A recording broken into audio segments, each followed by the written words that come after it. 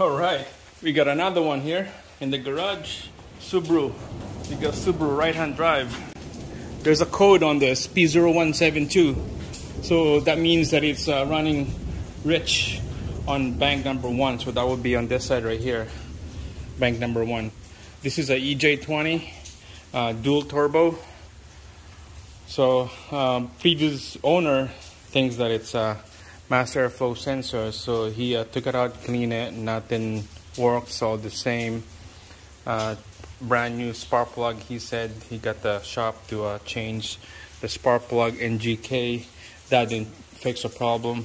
Uh, I drove this from his place to my garage, probably about 20 minutes drive, cruising.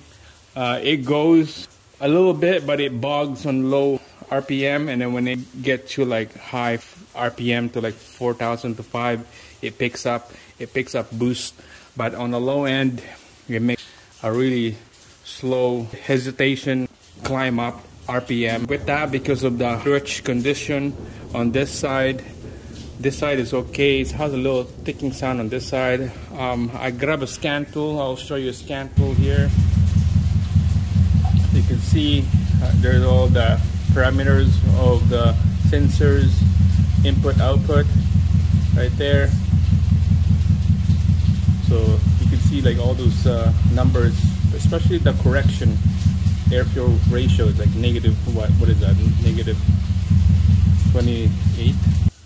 Yeah, it says it's too much fuel, it's doing some correction uh, using the ECU but it's not doing anything. It just keep dumping fuel, dumping fuel. So uh, we got the hesitation engine when it was uh, idling and hard start, hard start. It probably took about 8, 12 cranks till it starts sputtering and then tap the gas, stop the gas to make it idle.